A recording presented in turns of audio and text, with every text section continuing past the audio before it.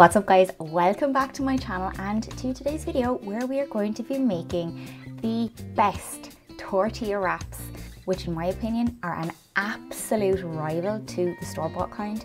You will never want to buy wraps from the shop again. Before we jump into the recipe, don't forget to hit subscribe and give this video a big thumbs up.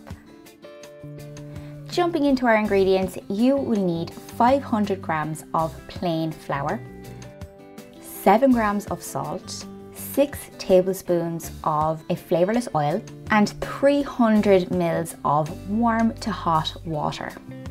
Go ahead and add your flour and your salt to the bowl of a stand mixer if you have one and if not to a regular bowl, that's just fine. Just give your salt and flour a little mix around, add your oil and if you are using a stand mixer, go ahead and add your dough hook attachment. If not, we're going to use good old fashioned elbow grease to give this a good mix. At this stage, you can add about three tablespoons of your water. Now this is a really forgiving dough, so don't worry if you add too much. You can just add some more flour, but I do find you can save yourself some time and stress if you just add your water slowly in batches of about three tablespoons per mix. And what you'll want to see is your dough starting to pull away from the sides of the bowl. That cleaning of the side of the bowl is a good indicator that your dough is nicely firm, nicely kneaded, and it is ready to weigh out. And you would do this by hand by mixing all your ingredients together and then turning it out onto a work surface and kneading until you get that nice smooth ball. This recipe will make 10 wraps. So the best way to do it is to take an electric scales, weigh your full ball of dough, and then divide it into 10 equal sized pieces.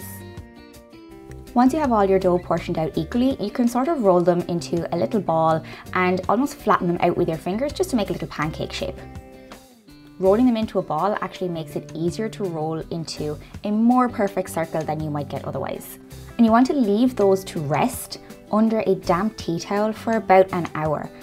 After your resting time is up, lightly flour your work surface and I find the best way to roll out the wraps is to start in the center of your wrap roll forwards and then come back to the center and roll back towards yourself and then do half and quarter turns. Turning them upside down is also really important to make sure that your dough is not sticking to your work surface. So make sure you turn it upside down, reflour underneath and continue the same pattern. So just a quick tip that if you do notice after your resting period that your dough is still pulling back, it's almost like a spring and it doesn't want to roll out, give it some extra time to rest. Just as you're rolling out your last wrap, start to heat your pan to a medium high heat. Now cooking these wraps takes literally 30 to 40 seconds, so you do have to be quite quick with this and I think a timer is a really good idea. You'll see that the consistency starts to change essentially immediately. After 20 seconds, flip it over so you can see those lovely air bubbles starting to form, which is exactly what we want after that 20 seconds. It will just give a lovely patterned effect to your wrap.